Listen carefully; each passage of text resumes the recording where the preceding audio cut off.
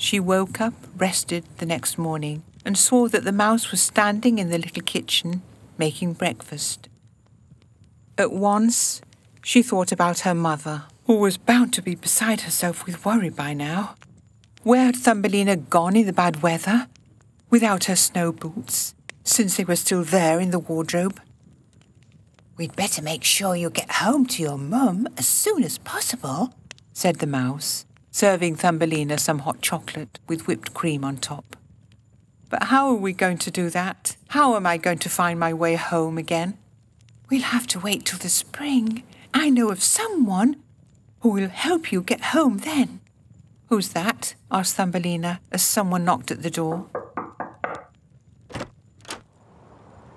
The mouse opened the door, and there stood a mole he greeted them politely and peered curiously into the mouse's abode. Good morning, Mr. Mouse. I was passing in the sleet and thought I'd just make a courtesy visit. Good morning, Mr. Mole. Come in. You're welcome. Would you like some hot chocolate? said the mouse.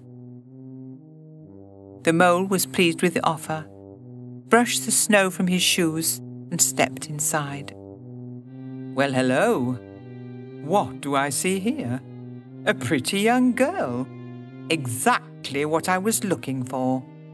The mole explained that he had been feeling lonely for ever such a long time, yearning for someone to marry, and now that he'd set eyes on Thumbelina, he was certain he would never find a better wife. First a frog, and now a mole wants to marry me. Neither of them seems to get it. I have very recently come out of a flower bud, and so I can't go and marry just anyone who asks me. So please accept my thanks for the offer, but I really am not interested, answered Thumbelina. The mole took a sip of chocolate and cocked his head to one side. But you'll love it with me, miss. I'm rich and can provide you with absolutely everything you want.